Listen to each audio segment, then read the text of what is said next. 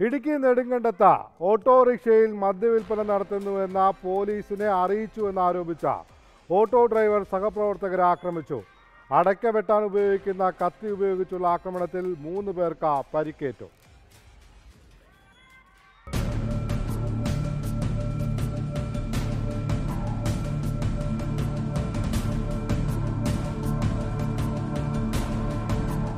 കരുണാപുരത്ത് ഇന്ന് ഉച്ചയോടെയാണ് സംഭവം. ഓട്ടോറിക്ഷ ഡ്രൈവറായ മധുസൂദനൻ മകൻ മിഥുൻ എന്നിവർ ചേർന്നാണ് ആക്രമണം നടത്തിയത്.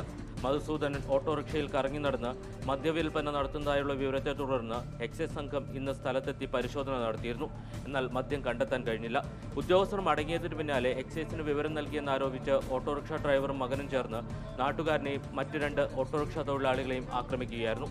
അടയ്ക്ക വെട്ടുന്ന കത്തി ഉപയോഗിച്ചായിരുന്നു ആക്രമണം. പ്രദേശവാസിയായ ശശിധരൻ നായർ ഓട്ടോറിക്ഷ തൊഴിലാളികളായ പ്രശാന്ത് ബിനീഷ് കുമാർ എന്നിവർക്കാണ് പരിക്കേറ്റത്. ശശിധരൻ നായരെ ആക്രമിക്കുന്നത് തടയാനെത്തിയപ്പോഴാണ് മറ്റുള്ളവർക്ക് പരിക്കേൽക്കുന്നത്. സംഭവത്തിൽ മധുസൂദനും മകനുമെതിരെ പോലീസ് കേസെടുത്തിട്ടുണ്ട്. മാതൃഭൂമി ന്യൂസ് ഇടുക്കി.